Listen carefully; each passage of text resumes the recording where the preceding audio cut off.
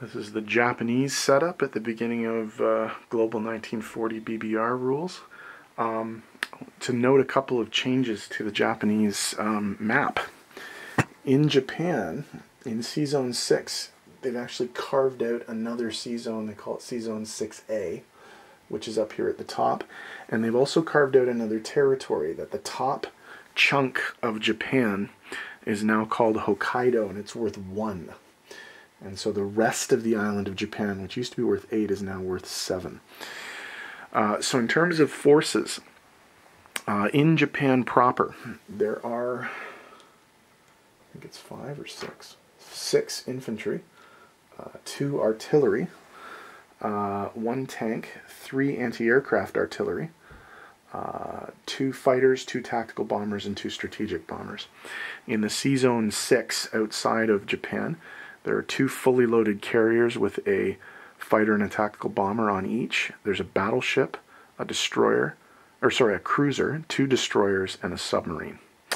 In Iwo Jima, there's an individual infantry. In Okinawa, there's an infantry and a fighter. And Okinawa, by the way, now has uh, an air base.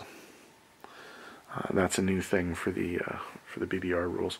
Uh, in sea zone 19, there is a battleship, a destroyer, and a submarine. In Zone 20, there's a destroyer. In Formosa, there's a fighter. Down here in the Caroline Islands, there is an anti-aircraft artillery and two infantry. In the sea zone surrounding it, sea zone 33, there is a destroyer and a fully loaded carrier with a fighter and a tactical bomber.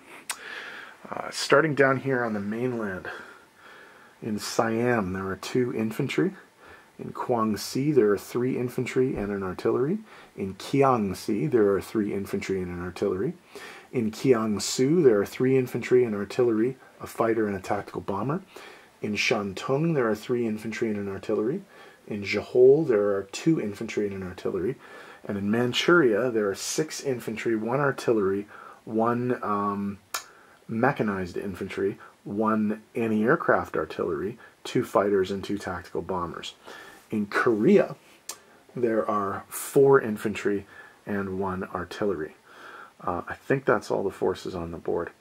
Uh, now, in terms of national objectives for the Japanese, uh, they get three IPCs for any of the following um, American uh, or British islands that they can take. Uh, they get three IPCs for Guam. They get three IPCs for Midway. We'll, we'll, adjust this a little bit so we can see the rest of the Pacific. They get three IPCs for Midway. They get three IPCs for Wake. They get three IPCs for the Gilbert Islands. They get three IPCs for the Solomon Islands, which are uh, ANZAC controlled.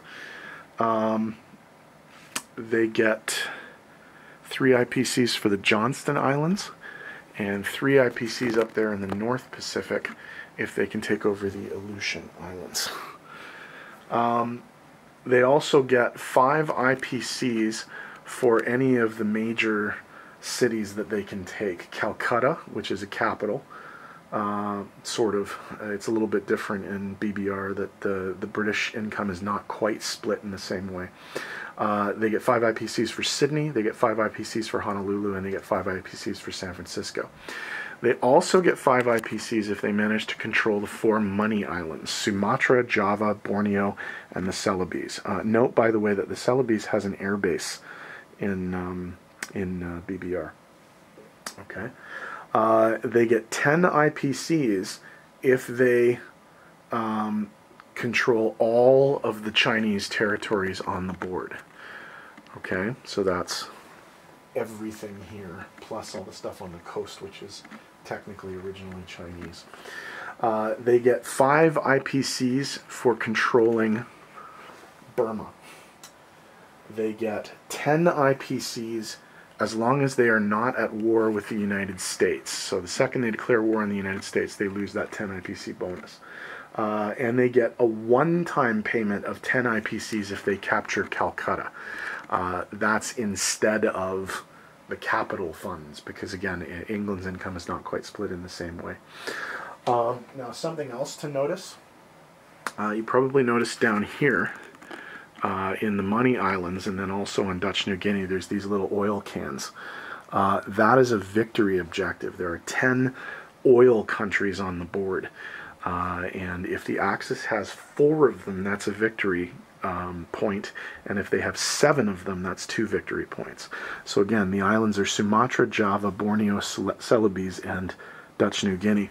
Uh, the other five uh, oil-producing territories are over here, okay, uh, where you would expect them to be, okay, uh, in the Mideast with Saudi Arabia, Persia, and Iraq, uh, and then in the Caucasus, and then up as well in Romania. I think that's supposed to be what's called the Baku oil fields uh, in Romania.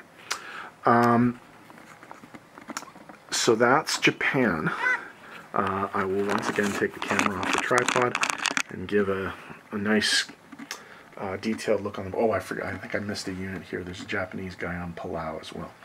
So I'll just have a look um, at the Japanese disposition of forces in detail so you can have a really nice look at the map here. See what you're dealing with. I'll come down the coast in the sea zones. And then of course uh, Iwo and big big stack in Japan. Okay, that's Japan's uh, initial setup in the game.